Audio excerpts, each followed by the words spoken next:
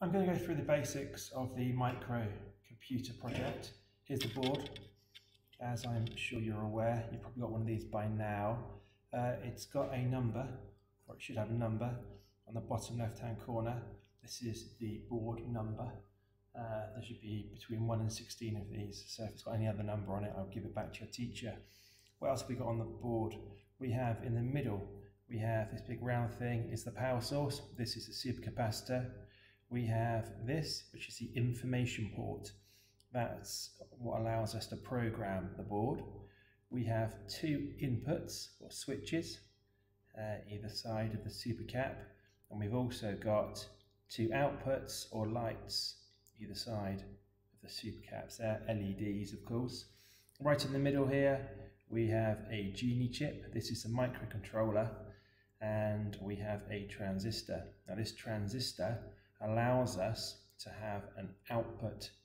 And the first two squares here are, an, are output holes. And you see the second two squares here, they are input holes. So in total, we have one, two, three inputs and one, two, three outputs as well on the board. Okay, so how do we connect the board? That's what I want to go through. Uh, if we go to uh, our search box at the bottom left hand corner of the screen, I don't think you can see mine actually, and type in Circuit Wizard. Circuit Wizard 3.5 should pop up and what you need to do is select that. Whilst that is loading, I wanted to show you two other things I have. One is a USB extension cable. So that's got the old USB. I'm just going to pop back onto camera, the old USB, and if I can find it, that's got a female USB. And I've also got this, which is called a Genie plug and play cable. That's got a USB and also an aux, aux fitting with a bit of hair on it. Right, so what do you need to do? You need to plug the USB from your Genie plug and play cable into any port on your computer. So I'm going to grab that, plug it in, and you should be able to hear a beep. If we then go back to Circuit Wizard, which should now be loaded up on screen, we will have one of a series of boxes because you're programming, you want to choose this one here circuit with Genie flowchart and you want to press OK. What should happen now is a box should pop up on screen which says a Genie plug and play cable has been connected to your computer. If this doesn't happen, there's a problem. To go and see a teacher. Or unplug the plug and play cable and plug it back in would probably be the best bet. That's, that's a really good sign. Okay. Next up, what we're doing, we're going to go to this programming tab on the right hand side.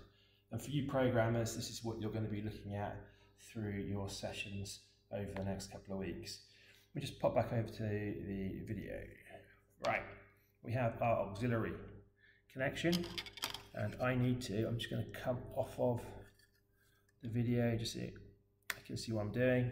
We just plug that in there and we also need to plug in the USB for the USB extension into your computer. So that's the second USB which goes into your computer. You won't get a beep when that goes in, I wouldn't have thought. And then what we need to do is, you see the female USB there? We need to push, I'm trying to do this on screen, which is a little bit difficult. We need to make sure that goes into the female USB. Okay, so presently what's happening is we are charging where is my little green stick? We are charging up the supercapacitor, which is acting like a battery, which is powering the microcontroller. Microcontroller is getting powered, but then it's communicating with this cable. This cable is going into your computer. So hopefully when we go back to Circuit Wizard, what we should see is a, uh, a chip connected to your computer or a Genie, play, a, a Genie chip connected to your computer. So we pop back and we go to, there we go, Genie connected to your computer. That's the first thing I want you to do. Get the Genie connected to your computer. Okay,